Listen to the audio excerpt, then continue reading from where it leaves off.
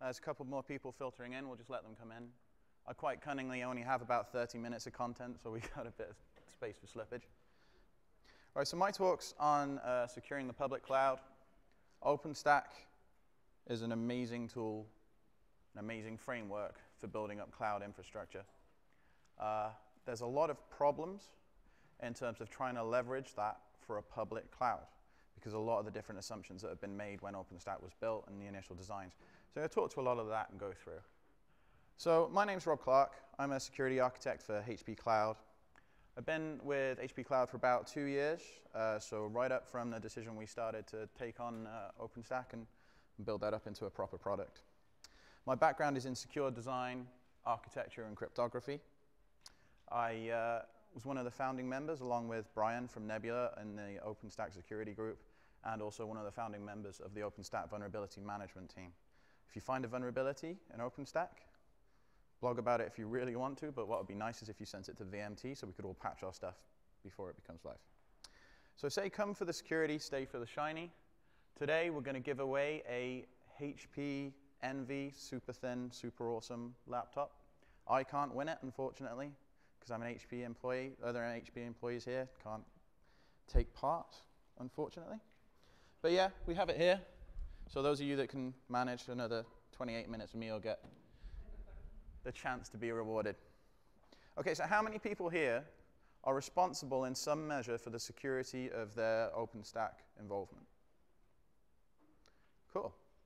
So that's about two thirds, maybe three quarters. So you should have some interesting stuff here. The rest of you are probably interested in security or in the wrong room. Some of this stuff will probably scare you a little bit. Right, so here's an amazing graph that tells you nothing, but what it actually describes, going from the left side is where your private clouds are. As you move across to the right, the threat and attack surface of your cloud deployment increases. So somewhere in the middle, you have clouds that are set up to do web-facing operations, clouds that have interactions with different other clouds or different interfaces. And then on the right, you have public cloud, which is an interesting place to work right now. This is about where the controls in OpenStack get you to.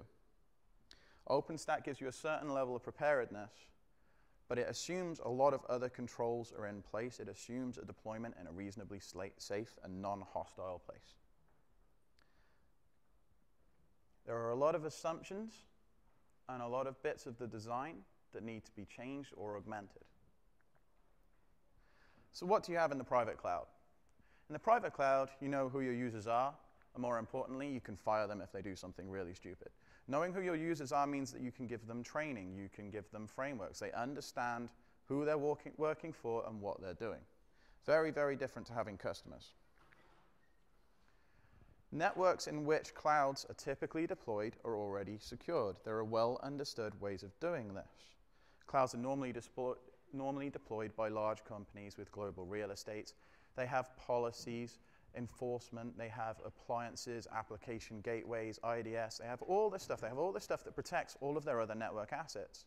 And in that situation, it's not so much of a headache to just pop up OpenStack and a few wraps ins inside of this nice secure area.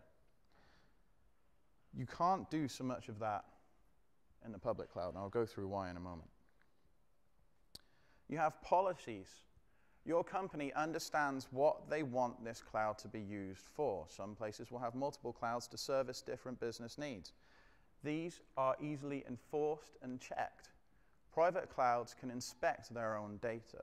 One of the biggest concerns people have with a public cloud is how safe their data is.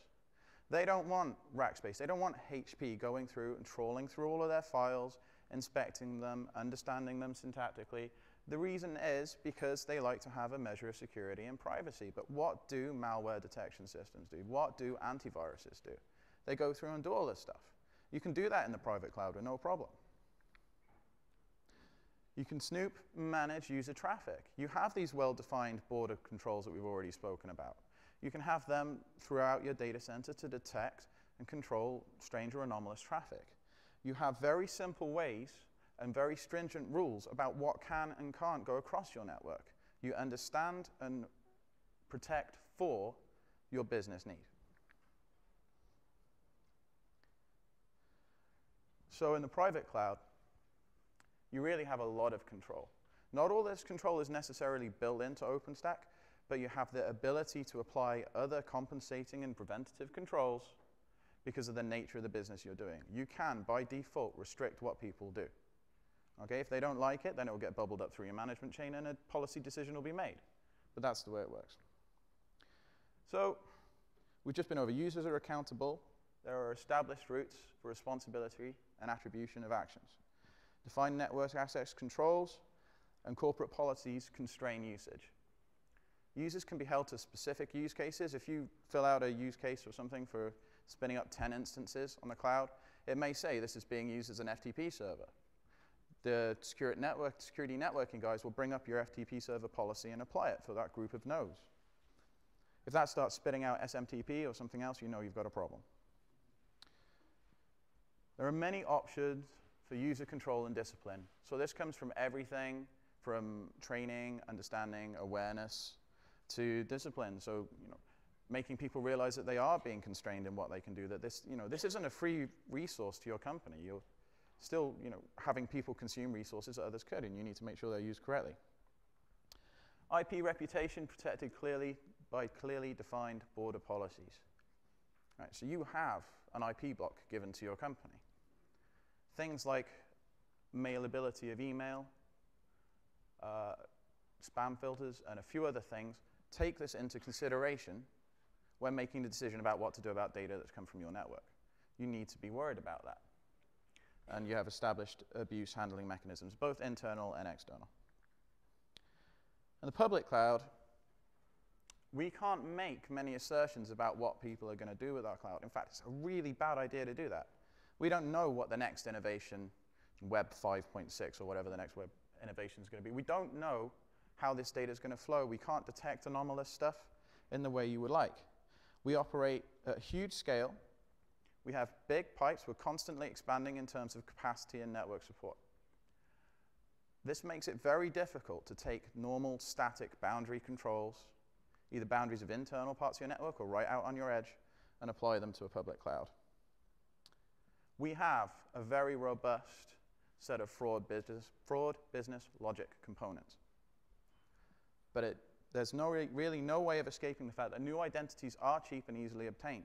And the best fraud systems in the world still have to be told or have mechanisms for detecting malicious use or the fact that credentials have been lost. So if we have certain malicious actors who may want to come onto our users, come onto our service, use it for six hours to do whatever dastardly deed they want, and then leave. And if they pick up the right set of credentials and things, that's really difficult stuff to control. We have a global user base across any and every service. We see very, very different packet shapes go across our networks. We have no idea what the next, next big thing will be. And detecting abuse is really, really hard. So I'll go into that a little bit more later. In the private cloud, you have clearly defined policies. I'm highlighting this again because it's really important. You have clearly defined policies. You can spot very easily when something steps outside of that, when it breaches the norm. When you have only a vague idea of what's going down your pipes, working out which one of them is the right one and which one is the wrong is tricky. So in the public cloud, we can't make very many assertions. Our, our users are largely unaccountable. You can't fire a user. You can ask them to politely leave your service, but they'll just go and use another one. That's not a preventative control where the public are concerned. We have open network requirements. We cannot sit and arbitrarily, arbitrarily make decisions about what data users can put across our network. Users have complete control of what they use their instances for. Almost over all behavior types and profiles are presented. Identities are cheap. Few data controls we can realistically apply at the edge. A constant battle to identify and control abusive users. So here we go on to some specific use cases. In a private cloud, you know what, the what data is going to be stored. You have the ability, if you choose to, to apply analysis to that data to detect malware, to detect if, uh, if you have a multi-classification hierarchy in your data system, you can use that to pick up documents that are tagged and in the wrong stores. There are a whole bunch of other out-of-band security stuff you can put around these because you have the cap capability to inspect, to look closely at users' data. And they're okay with it because they work for you. They share the data with you. You all have the same level of privilege. We have a whole bunch of terms of service, but they're largely permissive in terms of what you can do because they have to be, because we can't predict what our service is going to be used for. Privacy is a major concern for customers, so we can't go sneaking around, we can't go looking in their files. Inspecting data is very difficult. there's very good cases um, and legitimate uses for encryption of files, and we see this. Uh, one of our, one of our uh, big partners, Panzura, they work with uh, DreamHost, and they have an appliance that uh, you have at multiple sites, and it pre presents you with a sort of a global file store. And, uh, but that encrypts everything before it puts it on the cloud. And our cloud backs up the Panzura appliance. But uh, everything that's stored in our cloud from them is encrypted. And we, as HP, can't go in and look at it. Nova has a whole bunch of similar problems. There's a whole bunch of interesting things you can do to try and control what people do with Nova. So use is controlled by policy. Internal deployment options mean that you can, you can configure who can deploy what sorts of image. But one of the really interesting things here is that you can force your users to deploy certain images of certain types with certain controls. So all of your endpoint security, so these can have encryption on them, perhaps they can have IDS, they can have antivirus, they can have all the things that your IT company tells you you need to have in terms of endpoint security. And you can have this all on their VMs, and it'll make them slower, but the corporate has made a decision that they accept the cost of that to bring it out. We can't do any of that. We have people spinning up all sorts of stuff, installing all sorts of stuff, because they see it as a disposable resource. It's out there, it's on the public cloud. They're, most of the time, they're spinning up things that can be transient in nature, just to test something. So we get insecure VMs popping up all the time. And some of them do get abused and, and get into problems. We have constantly expanding capacity, especially in, in networking and other areas, which makes it very difficult to use common sort of static controls. The cloud desi is designed there to deal with anomalous behavior. So we can't sit in a room and say, well, we are going to have exactly this much usage over this much period of time. We have to plan big, we have to plan and do things at scale. So here's some abuse that we see people trying to do with HP Cloud. Swift would get people storing things that our terms of service say we don't want, okay? Might not necessarily be illegal, but take it somewhere else. We have copyright stuff. Sometimes people try and pipe copyright stuff on the cloud. Okay, that's not new. That happens everywhere. We need ways of dealing it, dealing with it, and detecting it.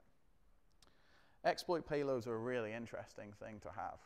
So if your browser gets an exploit, normally that exploit is a shim exploit. It's very small, slip past an antivirus, could do things. The first thing that does is goes and downloads a big lump of data to explain what it should do, runs as an executable, all the rest of it. If you were to combine Swift with CDN for doing exploit delivery, then you would have a lightning fast delivery coming from very different network points around the world distributing your exploits for you. That's cool. And of course, these guys can encrypt it on disk. They can just use basic symmetric encryption. So even if you have antivirus, you won't be able to get it. File dumps. Sometimes we can see this sort of behavior where a compromised machine will just be used. Uh, the cloud will be used for exfiltration of data for storage and later retrieval from a different place. It kind of makes sense.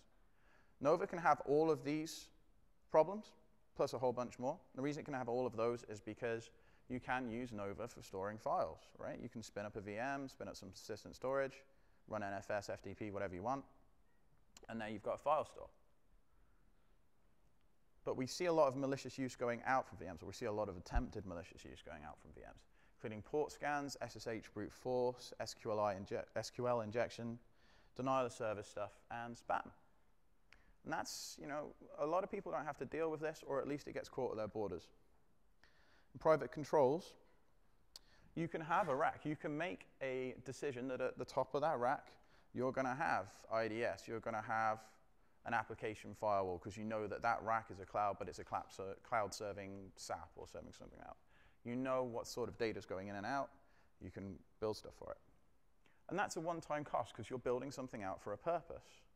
If we were to do that, in that way, there's a really big scale impact of that because we end up paying for the IDS twice. These IDS need to be fast and very performant because we don't get in the way of our users. So they're expensive. Now we have HP properties like TippingPoint and ArcSight and other technologies I'll talk about later, but they still have revenue representation that need to have within the company, and so it's not like we can just go and raid their warehouse and steal all their stuff. And even if we did, we'd avoid the first cost, but not the second, which is that we have very high density racks. If we have to take three or four U out of that to put a security appliance in, that's cost us a whole bunch in compute or in storage that could be used to generate revenue for the company. We have some ways of dealing with some of this stuff. The reason that we're not releasing it right now as is is because it's very tactical. Some of it is not code that's ready for consumption by the outside world. Some of it isn't necessarily an appropriate way of doing this in OpenStack. These security initiatives have been running for a while, and they work. But they were built against older versions of OpenStack that were doing older stuff. Quantum was you know, a glint in someone's eye when we started doing this, and now it's an amazing thing with people talking about having firewall as a service. Some really cool stuff there. But what we can bring to that party is what we've learned in the last year in terms of how we can protect this and the sort of abuse profiles we actually see. Yes?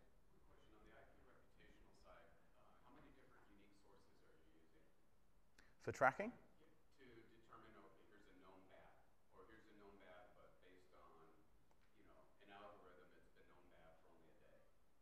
So most of the people we use for the IP reputation is just for spam stuff. I can't call them out individually because somebody else actually deals with a lot of that stuff. But if you're interested, drop me an email and we can talk more about it because we, we've got a whole bunch of information on this sort of stuff. So we have controls. They're very tactical in nature. They're at places in the stack that you might not necessarily want them to be because you know, hindsight's a wonderful thing. But what we want to do is work with people to understand and build these controls into OpenStack. So the firewall as a service stuff that some guys are working on is really cool. Uh, other stuff like just securing internals, which I'll speak a little bit more in a little while, we can do right now and are doing with people like the OpenStack security group. Uh, with like the Nova hardening project that started maybe a year ago, and I think it's fizzled out a bit now, but actually brought some good security innovation for a short period of time. So what I'm going to talk about here is just a little bit on how we deal with malicious virtual machines.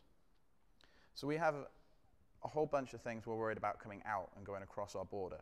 Because at the end of the day, that packet leaves your network with HP's name on it. Okay, you've got an IP address, that's, that IP address says HP. We don't want HP packets landing on SSH brute forcing, on doing all this other stuff. We just don't want it. It makes us look bad. So we have a mechanism that scales out with Nova, and it scales out because it sits on the compute host, and it messes around with IP tables, does a few other things to look at traffic as it leaves. And we don't do deep inspection. At the moment, we made a very deliberate decision not to. One, it's computationally expensive, and IP tables isn't the tool to do that. And two, we have this general ethos that we don't want to go snooping on people's data. So what we do is we look at the SYN packets, we look at all the number of different new connections that are going out.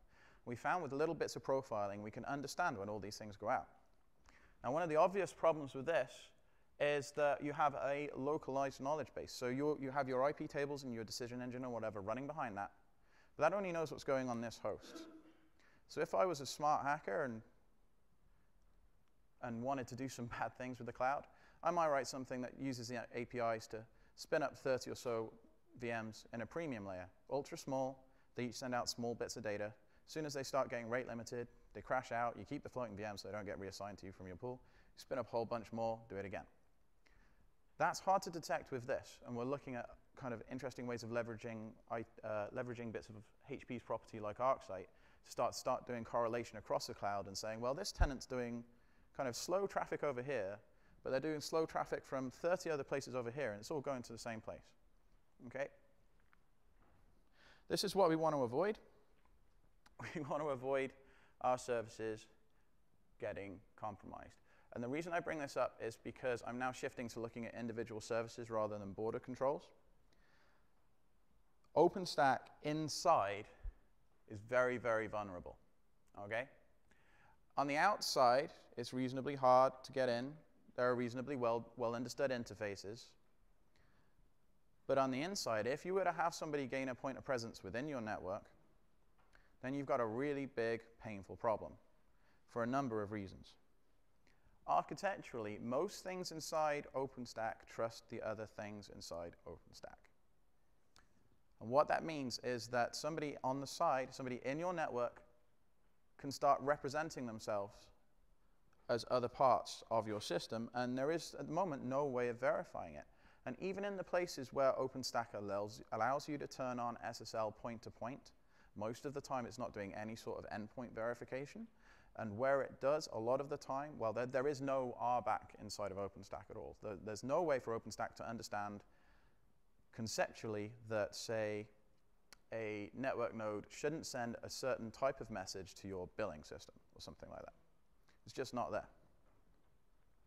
So these are a few things I wanted to call out specifically that we've been working on and other people have been looking at. And one of the things I want to mention in a minute is how well security is improved. So just, just keep these in mind. Crunchy, squishy, loads of stuff that breaks. We've been talking about this for a while and internally have a few different tactical things dealt, deployed to try and make the pain a little bit less. This is uh, just finger in the air interpretation of how I've seen security and the discussions I've had with people. I now go into a room at a design summit and I don't have to put my hand in the air and say, well, there's no security there, because people are already talking about it.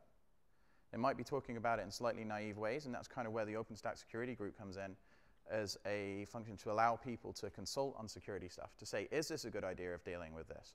What's the best way of securing this type of message? But I just want, you know, this room is full, pretty much. It wouldn't have been a year ago. Okay, people care now.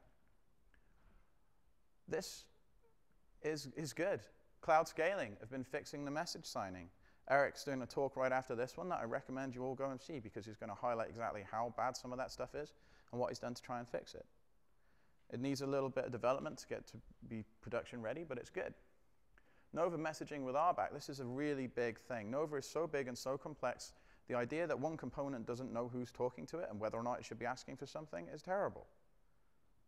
Now, Nova's got a lot of good things going for it, but the security side isn't one, and we're going to work and change that. SwiftStack, in the last couple of days, we've been talking to them about doing the message authentication between the different components of Swift, which is a lot easier because Swift, pretty much everything has ultimate levels of privilege, and what you're protecting against is someone on the side injecting something on your network. At Memcached protection, rsync integrity, there are a whole bunch of configuration things in the, in the different parts that we have deployed that can just be turned on. There's a whole bunch of stuff. So how many people here would like to see an OpenStack hardening guide come out of the security group? Cool.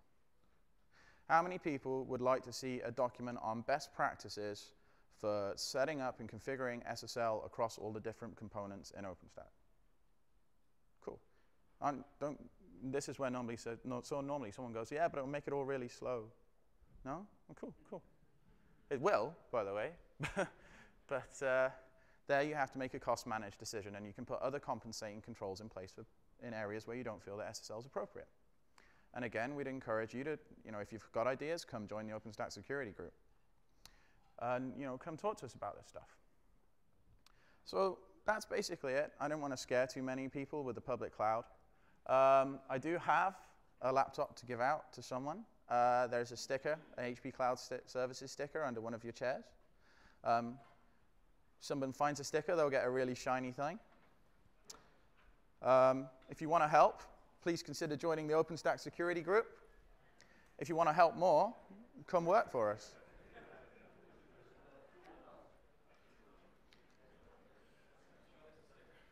I'm sure there's a sticker somewhere. I know roughly where it is.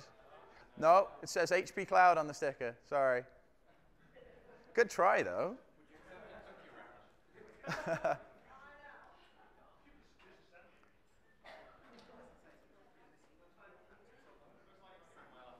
I think, I think we've got a winner. There we go. Congratulations.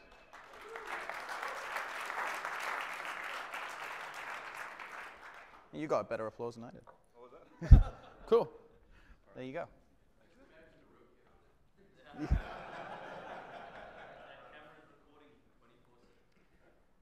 That's why we all put conference stickers over the webcam, right? Cool. Yeah. Questions?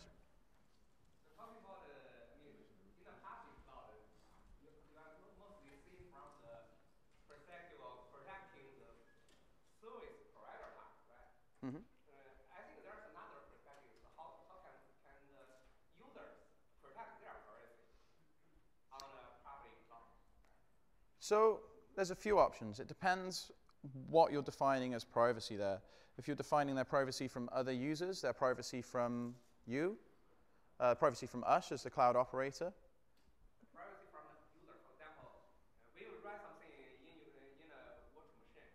Mhm. Basically, the operator, like uh, HP, actually can take a snapshot of your virtual machine and then get hold of all the information the user doesn't want you to be available. You're absolutely right, you can. But if you are genuinely concerned about a, a service provider abusing you in that way, then the public cloud just isn't what you're, what you're looking for, right? You always have a hostile processor problem. You are captive within our system, and to a certain extent, we can do what we want. You can do, there are various things you can try and put in place, like encryption and other stuff, but at the end of the day, everything's running in memory, everything is accessible. So if you're genuinely worried about that, then to use a compute example, public cloud probably isn't what you want. For the object storage example, there are absolutely a whole bunch of interesting ways you can work around that. I mentioned Panzura earlier because they're doing this at a really big scale with us. They're taking data from companies that have massive corporate IP concerns. They're encrypting it and they're storing it in our cloud encrypted. And they do some cool stuff with PGP or some cool asymmetric encryption to make it work. But The problem is you, you just can't make sure that all your memory are encrypted. Yeah, and even if even people who do. Well, that's because it doesn't work.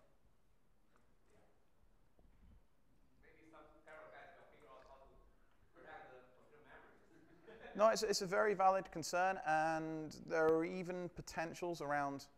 There's some interesting stuff going on in terms of trusted computing, but that actually bubbling up to something you can deploy in the cloud on a production hypervisor is a long way away. So did you say that you are using ArcSight or that you chose not to use ArcSight? We have a ArcSight deployment at the moment that we use for a number of the things that you would use ArcSight for. Um, we're, we're still learning really what the best way to use it is. I mean, ArcSight is incredibly powerful and gives you so many different options. And, you know, one of the things we need to do is get some more people on board who can sit down and play with all the shiny toys that HP gives us. So, yeah. There was a question over there? HP is both an operator and a cloud provider. Um, when you talk about security tools like uh, TopRock IDS, ArcSight Plus, and so on, are these tools you use internally or are these tools you just have to expose to your customers as well? And, and what do you see as, as a provider as your posture for what you should expose to your customers? What we do at the moment is use them internally. We have various properties that interact with customers externally. Fortify is a good example of a company that interacts with customers externally. And you know, there would be good reasons for them to come and look at the cloud. And you know, we have talked with them about that sort of thing.